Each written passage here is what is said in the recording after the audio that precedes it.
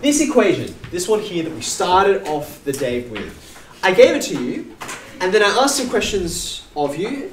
What we did was we said, okay, if we can get into this form down here, which we call what again? You can call it y equals mx plus b because it's mx plus b. You can call it slope intercept form because that's the slope, that's the intercept. You can also call it gradient intercept form because gradient's just another name for slope. So we saw that going in that direction was useful. It gives you these uh, features about the line. You don't even have to graph it. You can just look at the numbers. Okay? However, on occasion, you will be given a line in this form, and actually you've got to go in reverse. Now, here's what's weird. It's not immediately obvious why this form up the top is useful. You actually have to do a bit of work to get there. However, because eventually you will, they give this guy its own name. They call it general form. Okay? Now, 5x minus 2y plus 10 equals 0 is exactly written in general form. I want to tell you the three characteristics that make it general. Firstly, the right-hand side, do you see what it's equal to? It's equal to 0. That's the first important thing. Excuse me.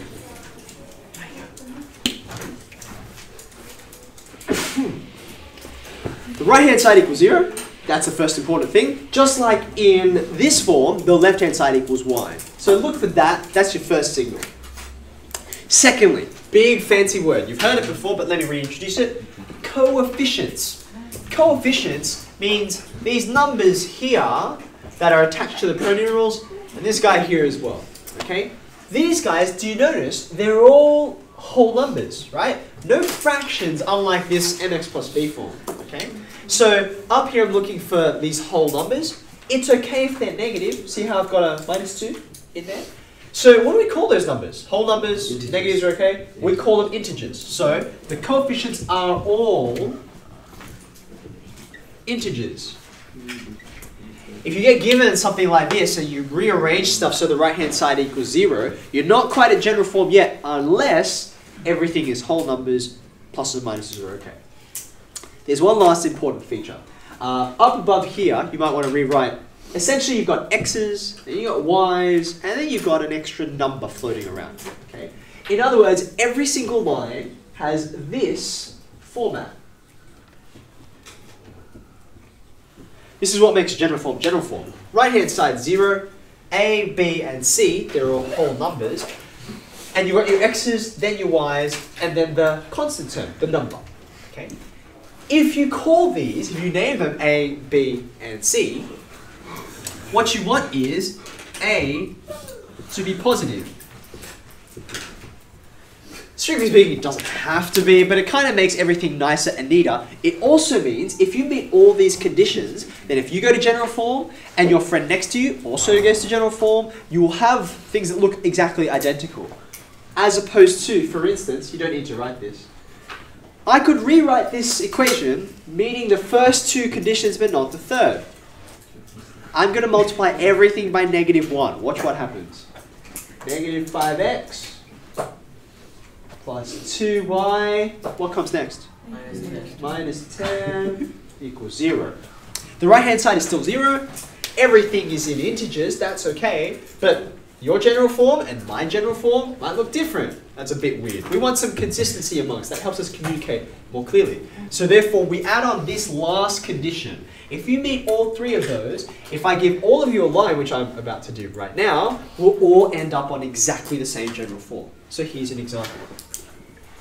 I'm going to give you a line, we're going to convert it. So I'm going to give you one like this.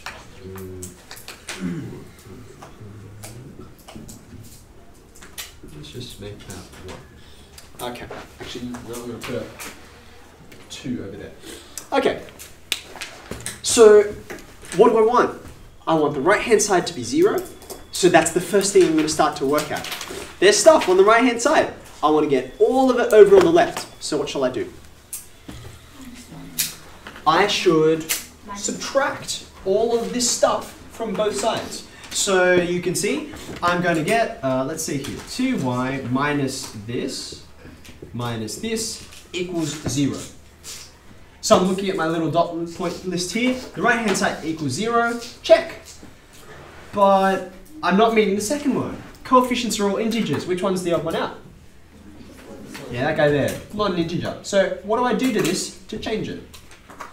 If I want it to be an integer, and right now it isn't, to get rid of a fraction, I will multiply through by something. The denominator is 7, so I'll multiply everything by 7. 2y is going to become? 14y. It wouldn't Uh, be negative 7. You'd have my negative 7. Uh, I'll get to the negative in a second. I'm going sort of one step at a time. Uh, the minus 4 over 7x will become Minus 4. minus 4x. What about this minus 1? Minus 7. And I know this doesn't change the value, but I just personally like to write 7 times 0 over there on the right hand side. Uh, it doesn't change the value, it's still going to be 0. But a lot of people, like when it's not 0, forget that the right hand side is there. They're like, I just multiplied the stuff on the left, and I just forgot there were other things. This helps me remember I've multiplied every single object, no exceptions, by the number I chose. So, have a look. The right hand side, still 0. Integers, looks good. A, which number is A in this case? Hmm. I'm going to come back over here. I haven't got the order right, have I? The A is the number attached to X. At the moment, that's not just 4, it's minus 4. Do you see that? And I don't really want that. So now I'm going to multiply everything through, not just by 7, but negative 1. Okay, so watch this. This is going to become negative. This is going to become positive. This is also positive. This guy's zero, so he's still zero. Now I'll just put them in the right order. Uh, x is first alphabetical, yeah? 4x minus 14y plus 7. And we all have the same general form. Should all be identical. So we've got consistency among us. So if we were comparing lines, you could actually start off with something different and end up at the same general form, which is really nice. So we know we've got the right answer. Okay?